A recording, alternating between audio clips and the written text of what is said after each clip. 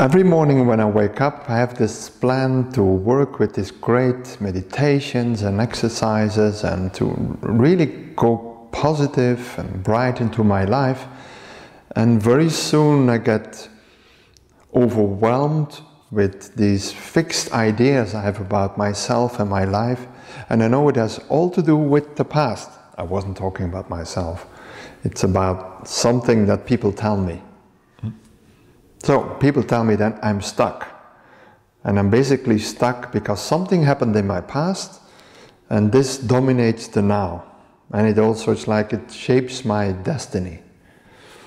Well, imagine that there was a country, a country, a land, and it's been in war or there was a disaster. Something happened, like a fire or an earthquake.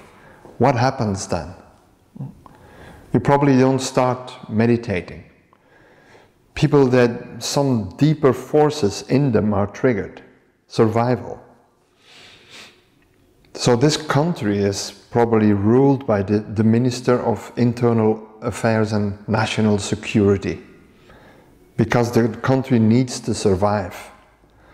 The king, which could be like the, the soul, and the, min the Minister of Internal Affairs which could be the ego, they got separate.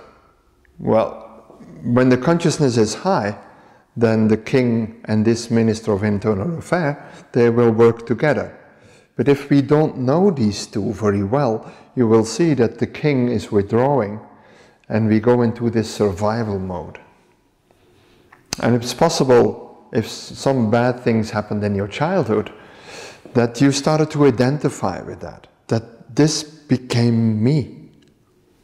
And then your life is basically fixed on that. The, the thoughts are not the problem, it's the charge that is built up around the thoughts. Everything that happened has happened. You can't change that. I don't believe in putting it somewhere in a box, giving it a place somewhere. The way of the alchemist is that there's a lot of potential and life force into that experience. Okay.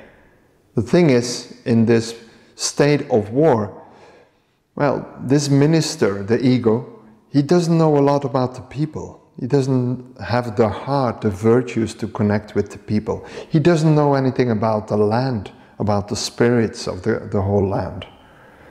And this is what you need to do then. Yes, the country has been in, in, in that state. Yes, you had this experience. Now, what is the potential that you have? You have a physical body. You have much more emotions. You have more virtue. You're connected to a bigger field. Leave this thing of the past for a while. Don't push it away. You have it there. But start to do all kind of other things that cultivate what has not been used for a long time. Making quality contacts with people, experiences that you do, going in nature. It's like discovering another part of yourself, enjoying yourself. So gradually around this dark ball, you get other kind of experiences with yourself, more energy, more consciousness, and then this gives you the ability that this new identity, or maybe you discovered this is really who I am, starts to absorb the darkness, the emotion, the charge from this old experience. You need enough momentum connect, and enough positive quality, I mean, high vibrational quality of your being to be able to draw the negativity from the experience. It doesn't work by keeping focused on it, because then, well, it's like you you you run around in in a normal city in the West with an armor from the medieval times. That's the way many many people walk around. They're still in some kind of war, but the war is gone. They don't have a life besides the war. So I think you can picture it very well.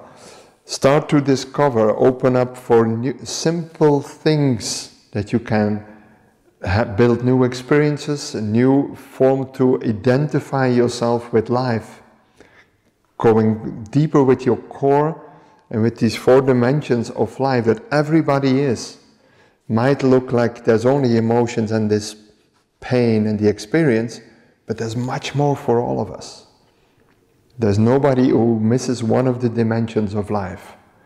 We all have a physical body, we feel, we think, and connect it to something bigger. In my experience, it's the, the most effective way. You don't focus on the problem, you cultivate the potential that is around it so that it can absorb the charge. And guess what?